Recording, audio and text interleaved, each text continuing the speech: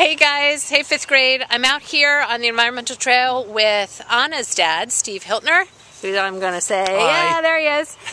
and he is our native expert. So he's going to be pointing out some of the native plants that you guys will come out later to help us identify to make sure that they don't get pulled once we get some uh, caretaking happening out here on the trail. All right, fifth grade, here we go. Okay. Uh, this would be a native holly, uh, deciduous holly of some sort. You can see tiny little flowers there. And there's male and female. I don't know which one this one is. If it has berries, it's a female. Um, now here's a, um, a shrub. It's a native shrub. Uh, grows in Princeton area. It's it's uh, St. John's wort. There's a lot of different St. John's worts. Uh, some are little flowers. This is a um, shrub that'll get bigger. So I'm pretty sure we put that one in. And um, let's see, what else is native here? Well, the wild grape. Got some major wild grape crawling all over everything. It has, if you look at it, it has this bark that's it shreds. It's uh, very fibrous bark.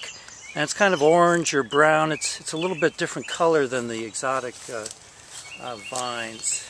Oh, and here's some blackberry here. This is a native. And you can see the, um, if you look down, it has a purple stem with kind of a white uh, blush, I guess you'd call it. Just a little bit of white. And here, this is pretty whitish also. Uh, and it's going to have, uh, it's a black raspberry, which is different from a blackberry. Uh, that's native also. This is the an exotic uh, um, relative of the black raspberry. This is wineberry, and you can see it has purple hairs all along it. Um, now that's exotic, but it hasn't been too, it hasn't been invading too much, so we're we're Okay. letting that one go. Okay. Let's see. Here's a here's a sedge. I'm going to step through the poison ivy. Poison ivy's native. You can, I guess you can see. Do we have to worry about keeping You that? know, though? look at that. That's that's a that's a poison ivy. It has that thumb. You see those two little thumbs on the uh, on the. It has three leaves, and then it has these little thumbs, Okay. lobes. Yeah. And then this is a native sedge. I think I can grab a piece of it without ah, Okay. hurting the plant.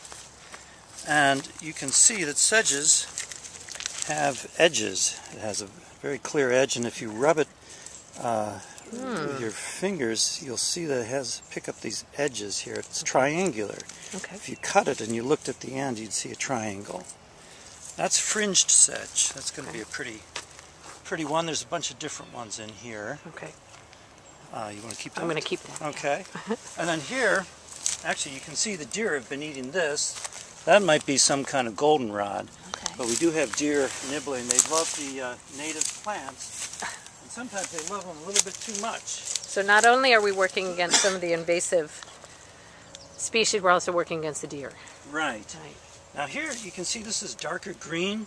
This is also looks like a grass, just like the sedges look like a grass. But um, this is a rush. Okay. And uh, just like sedges have edges, rushes are round. They, if you roll it in your fingers, you'll see that it's it's has a round uh, stem, and there aren't any leaves along the stem. It's just this long, Yeah, yeah, yeah. One long. long spike here. Okay. So that is a rush, Rush. soft rush. It's called soft rush. Um, here, one of my favorites. Uh, this is called jewelweed Okay. and it's it's uh, grows it likes these little bottom areas these uh, where it's, it's a floodplain likes wet ground. And uh, you can see it has opposite leaves here. They come out in pairs.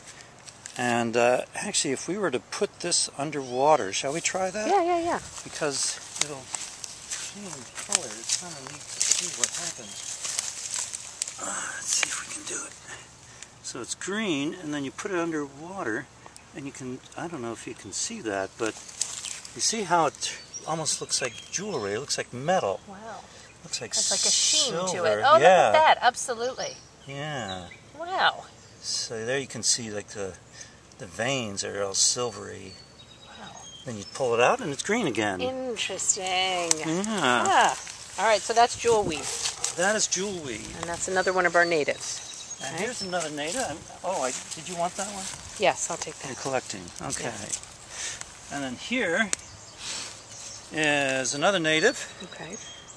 Um, you see a thumb on it. Yep. Uh, this is actually Virginia knotweed, and it has these swollen joints here. I don't know how swollen that looks actually, but, But this is the way like a it grows. there. It has one leaf coming out here, then another one further up, Okay.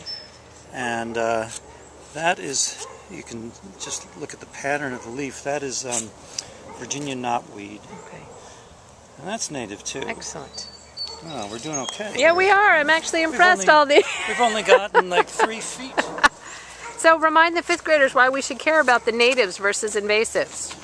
Well, the natives, um, they've evolved here over thousands of years, and they've evolved with all the animals. So the animals have developed uh, a relationship with them. They uh, uh, and uh, the animals depend on them. They like the taste of the natives oftentimes. And so if you have butterflies, well, the caterpillars need specific native plants to, to eat and then be, before they can become butterflies. And if those native plants aren't there, then uh, you don't have the butterflies. And uh, and then the birds need insects uh, when they when they're raising their young. They need lots of protein, and they get that from insects. And so if the insects have specific needs for native plants, then you need those native plants, and then you get the insects, and then you get the birds being able to reproduce and grow uh, their young. So it's this whole food chain, and it's based on the native plants. Excellent. That's great. Now, the exotic plants that are introduced, for some reason, uh, the animals, particularly like deer or the insects, they don't seem to eat them, and, and that actually gives the exotic plants an advantage to, to grow over the natives. And so, if people don't uh, get involved, then uh, sometimes the exotics can take over, and, and you lose uh, that food chain that's uh, so important. All right. That's great. Thank you. Okay. All right. Here we go. So let's see. There's one more. Oh, here's some that we planted. Okay. I think we can do this one and then maybe move to another area. Okay. Ah, I'm so impressed that some of them really survived from yeah. last year. Well, they're pretty tough once you get them established. Okay. The natives can really be pretty tough. This one All has right. beautiful foliage. Wow. Uh, this is actually one leaf here, even though it looks like a bunch of Is leaves. right? Okay. These are leaflets. And um, this is called tall meadow rue. Okay. So it grows in meadows. It needs sun, and that's why it's growing here. That's why we planted it here because there's the trees are not shading this area. It gets lots of sun. That's right. Okay. Okay. Okay, so we're a little fur- further down, but we're still in this open area um, where the stream is flowing through. And uh, just walking through here. This is a native plant. This is just coming up. This is blackberry, and you've probably had blackberry jam. Uh, these are going to get big. Well, there's lots of them right here Uh, too. yes, Yeah. there's lots of blackberries. We could have a little blackberry farm here.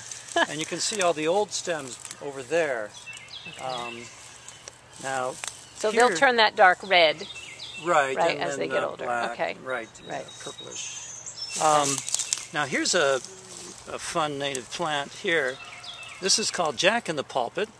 And this is the pulpit here. This is Okay. this is where the um, flower. This is actually a flower. It doesn't have much color, but it's got a lot of shape to it. You see, it's like a hood. Yeah, yeah, yeah. Yeah, so that's and it's got Wow. these leaves like this. Um, that's Jack in the Pulpit. Jack in the pulpit. Okay, another native. and then we have a fern. We got ferns here. Uh, these I don't think we planted these. These were just happened to be here, but I don't know if you can see that. This is a, a sensitive fern. Okay. I don't know what's sensitive about it. Some plants you, you kind of tickle them. yeah, you them. touch. That's right. You tickle them here and they'll close up, but I don't. I don't think this Hmm. one's. This is a new leaf. You see, it hasn't opened up yet. And up the trail, I've seen lots of those sensitive ferns around. here. Right. Yep. Yeah. Um, here's another Jack in the pulpit. Oh, here's a uh, another sedge. You can. Uh, Okay. it's kind of fun to get to know the sedges. You see, this one has all these seeds all along here, and this is actually the flower. It doesn't uh, make a pretty flower to attract pollinators or anything. I think it's wind pollinated, so it doesn't need to have color to to um, That's right, attract to anything. um, attract Insects. anything. Right, the wind just blows. And again, it has this triangular stem. If you roll it in your fingers, you'll feel the very uh, sharp the um, edges to it. And that's fox sedge. Okay.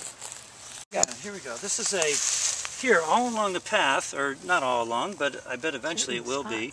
This is kind of a grass that you don't really need to mow. In fact, it's not a grass; it's a rush, Huh. and it's called path rush because it loves to get stepped on. Why? And, uh, how is it possible that it would that would help it? In I don't way? know. I think that it, walking defeats all the other uh, Okay. kinds of plants, Okay. and this one uh, responds well to it. Wow. So it's a, it's a matter of attrition. The, Okay. the other ones die off, and you're left with a path rush. So this is nice kind of uh, stuff to walk on when it Mm-hmm. finally populates the whole pathway. Okay. This is Virginia creeper, and you might be worried about me because I'm holding something that looks like poison Yeah, ivy, people think it. but uh, you see it has five leaflets instead of three. Okay. And so that's that's a native vine. It grows up trees or just spreads across the lawn. I'm sure you have it in your backyard somewhere. Uh, Good. Well, that's So, good to know. all all right, right. All right. Well, go. thank you.